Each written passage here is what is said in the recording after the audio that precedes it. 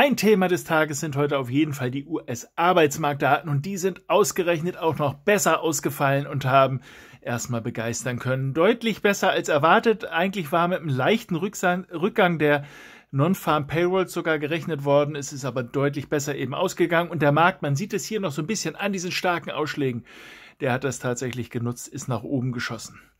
Äh, runtergegangen um zwei Prozentpunkte von acht, nein, von 3,8 auf 3,6 ist die Arbeitslosenquote, aber Vorsicht, die ist immer mit ein bisschen Vorsicht zu genießen. Markus Fugmann hat da schon einen sehr schönen Bericht dazu vor kurzem mal ge gebracht, dass das alles äh, naja, mit viel Liebe ist. Ich will ihm die Worte nicht in den Mund legen, aber einfach gegebenenfalls den Bericht nochmal angucken. Trotz alledem, Non-Farm Payrolls Freitag, erste Freitag im Monat, immer ein Highlight für die Intraday-Trader sowieso, wie wir es hier sehen, aber auch für diejenigen, die jetzt im Anschluss überlegen, was denn damit zu tun ist. Der Markt hat es erstmal nach oben genutzt.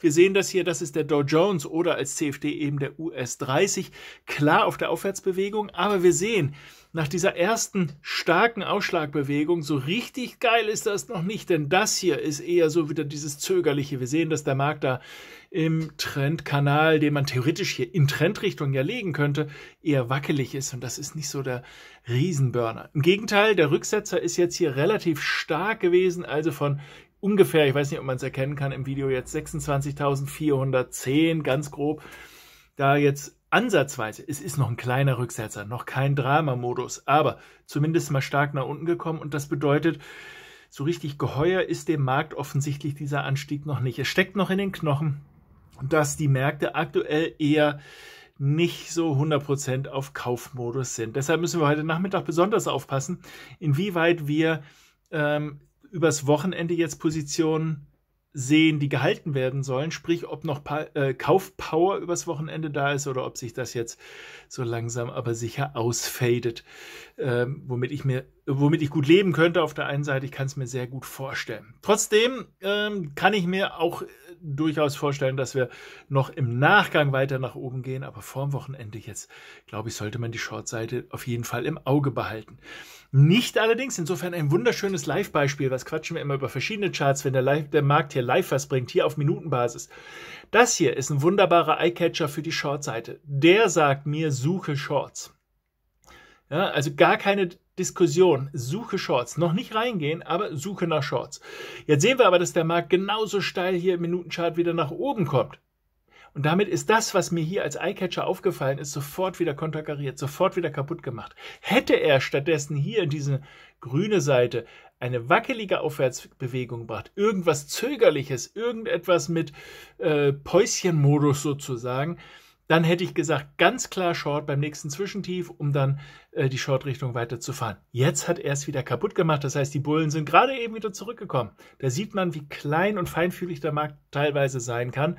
Man muss es nicht auf Minute handeln, man kann aber auch gerade auf diesen kleinen Zeitebenen eine Menge rauslesen. Jetzt umgekehrt haben wir wieder den Modus Steilheit nach oben. Wenn der Markt jetzt wackelig nach unten käme, dann wäre es für mich wieder die Long-Seite. Also man sieht es, die scharfen Bewegungen, das sind die Eyecatcher diese Gegenbewegung entweder wackelig oder scharf, das sind die Bestätigungen oder eben, Vorsicht, da ist das äh, Ei noch nicht gelegt, man weiß noch nicht genau, in welche Richtung das geht, also da aufpassen. Zwei scharfe Bewegungen, so wie hier, scharf runter, scharf hoch, beispielsweise, ist noch keine Aussagekraft, sondern erst, wenn eine Seite sich schwach zeigt. Gucken wir mal kurz auf den DAX. Das ist jetzt der DAX Future mal auf 5 Minuten Basis. Auch hier sehen wir den Spike zur Eröffnung der Daten. Also hier sehr deutlich äh, zu erkennen, hier die Bewegung. Aktuell allerdings eher noch lustlos, also der Markt wieder zurückgekommen. Äh, so die richtige Überzeugung ist da noch nicht zu sehen, dass das sich äh, weiter fortsetzt. Wir können noch mal gucken, was beim Euro war. Da haben wir hier auf 15 äh, Minuten Basis ebenfalls zu diesem Ereignis eine relativ lange Kerze der Markt da eher danach nach oben tendiert. Wir sehen das hier, zack, da nach oben. Das ist Minute, also sehr, sehr klein. Ähm, auf jeden Fall deutet sich an, dass das Ereignis gegebenenfalls eine Wende im Chart erstmal darstellt. Und äh, wie ich es eben beim Dow schon gesagt habe, mal drauf gucken, ob man da entsprechend so einen Wechsel sehen kann. Wie kann sowas aussehen? Das äh, beschreiben wir unter anderem heute im Trade des Tages. Ich zeige es aber trotzdem mal hier für die, die noch nicht äh, angemeldet sind und sagen, lohnt sich das wirklich? Naja, ich denke schon, denn wir haben eine scharfe Abwärtsbewegung. Das, was wir hier sehen, ist eine wackelige Bewegung hier nach oben. Und das ist genau das, was ich eben angesprochen hatte. Hätte der DAO das jetzt gebracht, hätte ich sogar im Minuten, auf Minutenebene, also ganz kurzfristig einen Trade gehabt. Das geht natürlich auch auf anderen Zeitebenen. Das sehen wir immer wieder, ganz egal auf welchen Ebenen man unterwegs ist. Ich mache hier mal ein Alternativbeispiel. Das ist jetzt hier im 4-Stunden-Chart.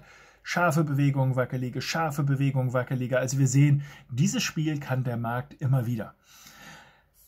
Ihre Hausaufgabe ist es jetzt, das heute Nachmittag bei den Indizes selber rauszusuchen. Wenn Sie bei Crude Oil noch eine Idee suchen, dann lesen Sie sich den Trade des Tages. Dort geben wir unsere ganz konkreten Ein- und Ausstiegsmarken, wo stoppen wir, wie und so weiter. Das ist im Trade des Tages da zu lesen. Gucken Sie sich es einfach an. Ansonsten genießen Sie den Markt und äh, holen Sie sich noch ein bisschen was raus. Ihnen einen wunderschönen Trading-Tag und ein erholsames Wochenende. Nächste Woche sehen wir uns wieder.